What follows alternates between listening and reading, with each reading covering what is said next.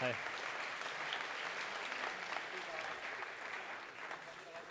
Hi, everyone. Thank you very much for having me. Um, it's a real privilege to be on this stage. Um, very nice to be here. Um, before I begin, I just want to say that this presentation does contain some images which some people might find distressing. There's a lot of imagery of fire. Um, so please, I just advise viewer discretion as we go forward. Okay, so forensic architecture. So we are a research agency based in Goldsmiths University in London, and we are a multidisciplinary group. We're comprised of architects, investigative journalists, um, developers, lawyers, filmmakers. We're a very varied bunch.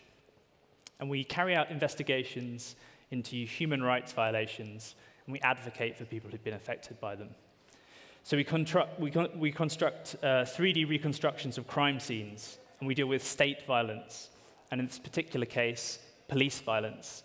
This is an image from our investigation into the killing of Mark Duggan by the Metropolitan Police in 2011. And we also work with experts in fields such as computational fluid dynamics in order to understand these complex phenomena in time and space. So what you can see here is the cloud is a representation. It's an isosurface of the um, gunshot residue, the detectab detectability of which would have been um, detectable by smell in this internet cafe. And this is an image from our um, investigation into the killing of Halit Yozgat. And we also um, document violence in time and space, and we make web platforms. So this is uh, a clip from our video an investigation into the NSO group, and they produced a piece of spyware called Pegasus. And the, the markers that you can see on the timeline there are moments of infection for this, um, this, this piece of malware. And we also stand with civil society groups, um, and we um, advocate for people who've been affected by violence. So um, this is us presenting our findings into that investigation into the killing of Mark Duggan to an audience in Tottenham Town Hall in 2019. And we're standing there with the rights activist uh, Stafford Scott on the mic there. And we also display our work in cultural forums, such as um, museums and galleries. This is an image from a recent exhibition called Cloud Studies. And this is really important for us because this is when the work comes out into the real world and it becomes a kind of polit a political discussion and a conversation that, that shapes the world around us. So, on the 4th of August, 2020, a massive explosion ripped through the city of Beirut. Um, the blast killed 200 people, 6,500 people were injured, and large areas of the city were destroyed. And we were asked by the, rights, the organization uh, Mada Masr to look at the open source material that was available for this case and try to put together that material and reconstruct an idea of how this explosion, uh, like the things that led up to it and the reasons why it took place. And so at Forensic Architecture, we have this concept of an open source investigation. And these are all clips um, that are taken from the moment of the blast and prior to the blast. And the idea is that using this raw material, this data, theoretically anyone could reconstruct the investigation. So this is, this is kind of one of the ideas behind um, open source investigation and the investiga investigative commons. So we gathered lots of these videos. And when we gather footage of forensic architecture, one of the first things that we do is we synchronize it in time. So these are images of the fire taking place in the warehouse before the explosion. And the moment of the blast provides um, an anchor point for these pieces of footage to be situated in time. And we also situate those pieces of footage in space.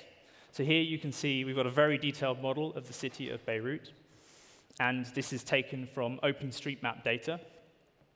Um, and so you, you, can see that we've got all of the buildings in the city. And within this model, we situate the camera positions from those pieces of footage. So we, we take our cameras and we work out where they are in space. And so you can see here, if we have an image, um, we've got these architectural elements that are visible and then they relate to objects on the ground, so we can locate these cameras.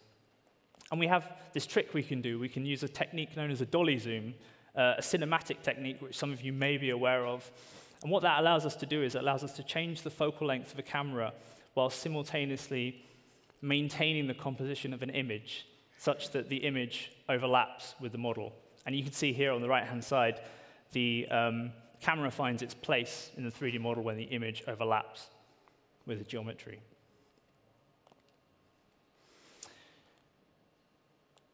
So once we've situated these pieces of footage, we can start to look at more detail at the clouds that are unfolding in, in this fire prior to the explosion. So here we use a method called a slit scan, and we analyze the color of the pixels that are coming from that plume of smoke. And we can see that they go from a light gray color to a dark gray color over time. So something is happening here within the warehouse. Something is evolving over time.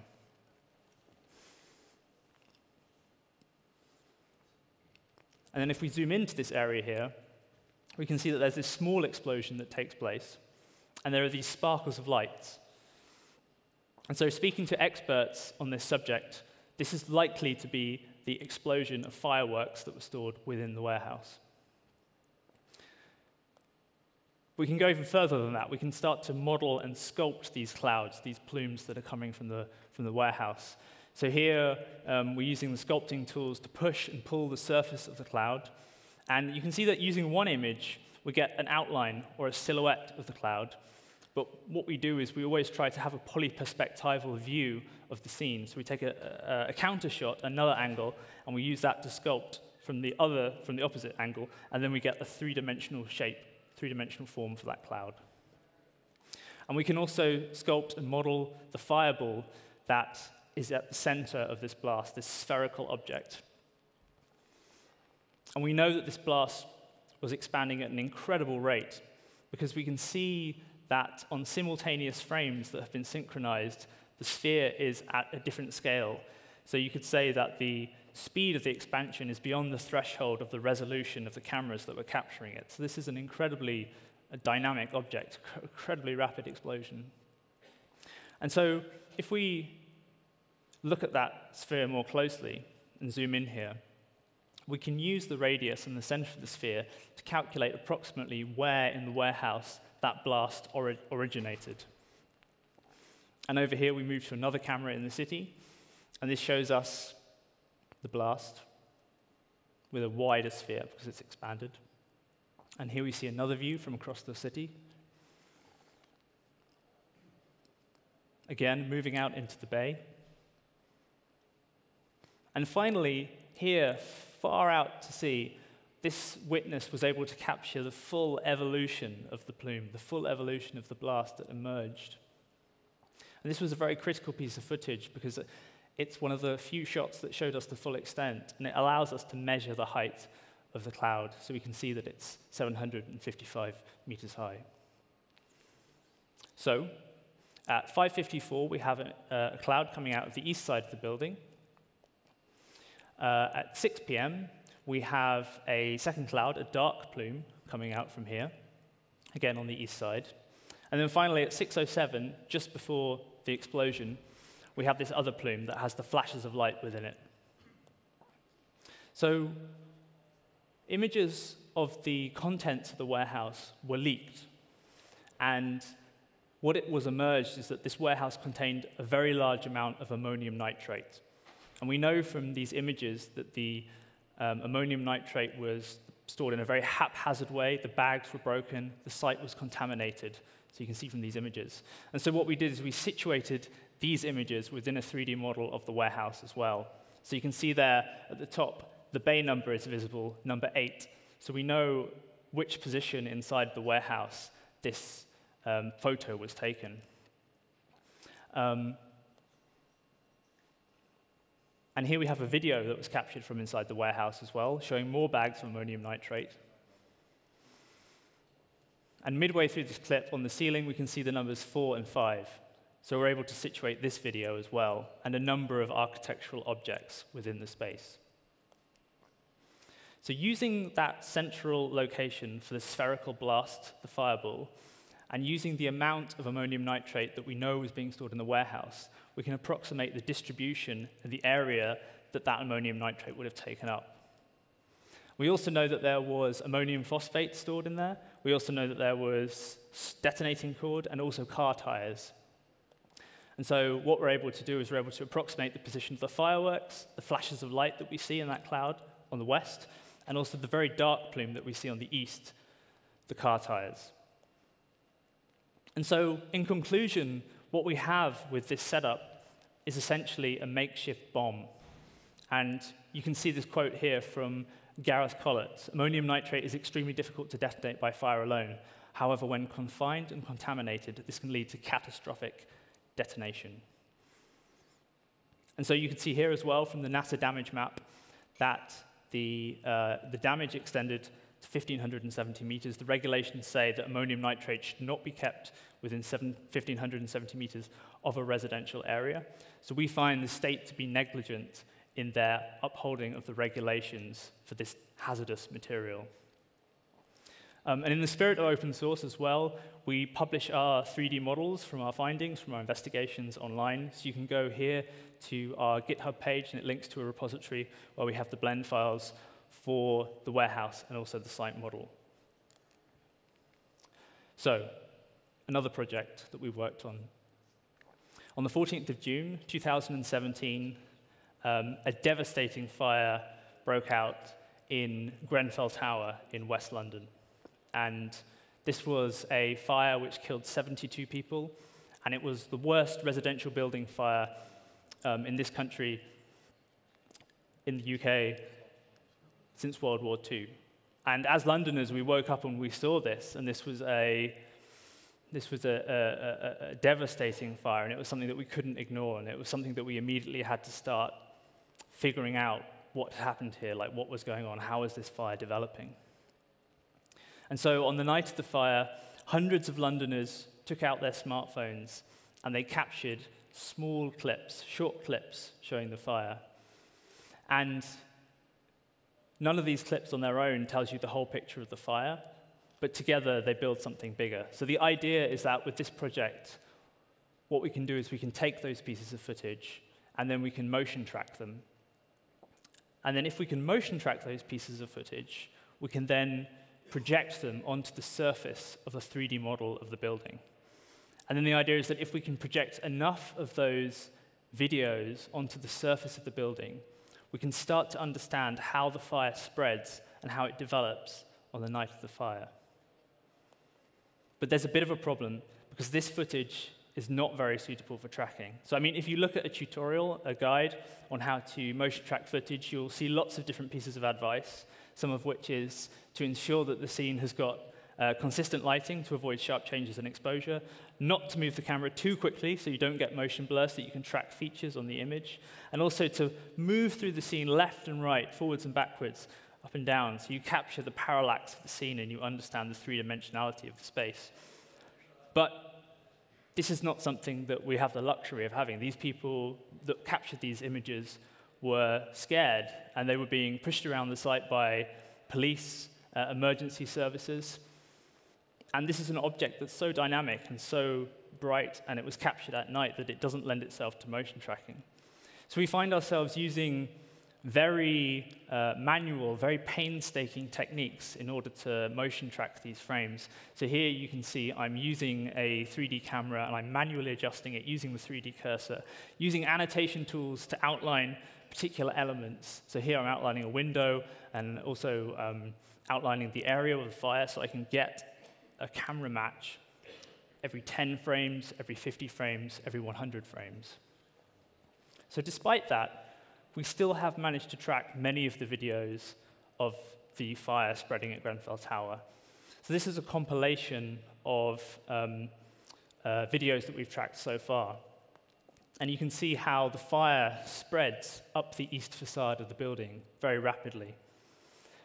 And I think it's, uh, it's one of these things where an individual image on its own doesn't tell the whole picture, but when they start to come together and they start to cooperate as videos, you get a sense of the uh, magnitude and the complexity of the violence that's taking place here in this building. And so we also have vast amounts of data relating to the building. And it's all buried inside of PDF documents Um, some of them are inside the Grenfell Tower inquiry documents. On the left here, you can see a document called External Spread of Fire, and these yellow areas indicate where the fire was at different points in the night. And on, on the right-hand side, you can see the work of Eric Guillaume and colleagues who captured other frames. And so part of what we do at Forensic Architecture is to take this information that's buried in documents all, all over the place in loads of different repositories and bring it together into 3D space and time so that it is understandable, so it is um, conceivable as an object. And so what we can do with these images from these documents is we can create basically a, a stop motion animation. So the red indicates the area of the building that's burning, the black indicates an area that's burnt, and the yellow that you can see from the other document is just the area, the full area of the spread of fire. So we build this stop motion animation, and this allows us to create a full mapping of the spread of the fire. So what you're looking at here is a UV map of the building, the four facades of the building unfolded. And this is another part that's very important to our work.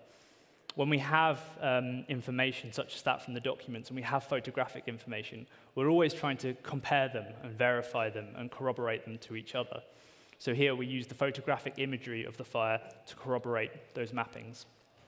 And then what we can do with that map, with that shape, is we can wrap it back around the building, and then we have a graphic representation of the spread of fire. So similar to the way that the images and the videos and the footage captured this spread, we could do the same with a graphic image. And because this is uh, operating in, on a precise 3D model at a, at a fixed scale, a real scale, we can do things like calculate the total area of the fire, that's total area of the surface of the building that's burnt. And we also know the rate at which it's burning as well, so we can use these metrics. And we can also, it unlocks a whole load of other interesting facets and mappings about the spread of fire. So, for instance, on the night of the fire, many of the residents reported hearing these popping noises, almost like gunshots. And these were the sounds of the windows breaking. So, what we can do is we can use that spread of fire shape, we can turn it into a GeoNodes object with thickness, and we can get it to intersect with the building's windows. And so we know when particular buildings, sorry, when particular windows are breaking at particular times. And then that data can be used and exported and taken to other parts of the project. We also know, based on that fire spread mapping, the likely amount of heat radiation that would have been experienced on the ground at certain points around the tower. So here you can see um, we have a plan view of the building, and the lighter color indicates greater levels of heat radiation. And that fire spread also gives us an idea of the smoke cloud that would have come from the tower, and also the particulate matter that was emitted from the building and then deposited over London. So you can see here the yellow indicates particulate matter quantity that was deposited on the ground around the tower. And so, as I mentioned before, we always try to work to advocate for people who've been affected by violence. Um, and this is a process, uh, this slide here, related to situated testimony. And we were lucky enough a few years ago to sit down with one of the residents. This is a guy called Nicholas Burton. He was on the 19th floor of Grenfell Tower. And we were able to sit with him with a 3D model, and he was able to tell us not only about the layout of his flat, the furniture, where everything was, but he was also able to tell us about his movements on the night of the fire. And in this clip that I want to show you, he explains the moment when he realizes he has to leave his flat. I don't think I saw, I didn't see a person, I just saw a hand come and grab my wife. And then another hand on the right hand side come and say, let's go. And I said, look, I've got my dog here. And the father said, I'm sorry, let's go. And that was it. We just into the darkness.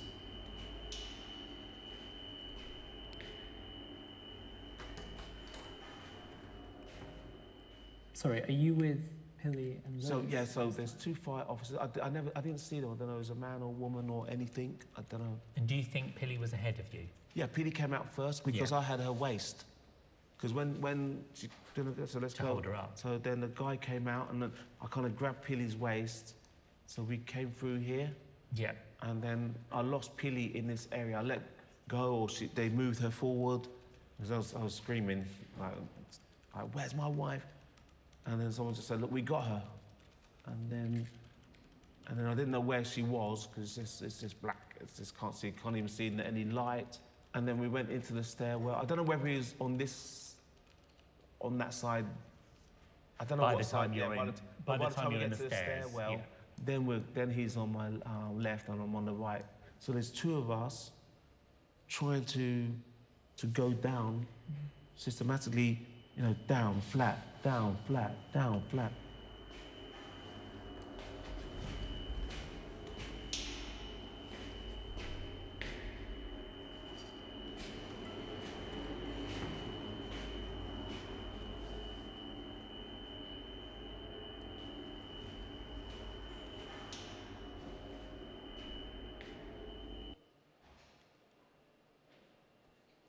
So I'd like you to think of uh, forensic architecture as the intersection of the spatial and the political. And I think we're all here because we um, believe in 3D software being, being free, being available to civil society groups.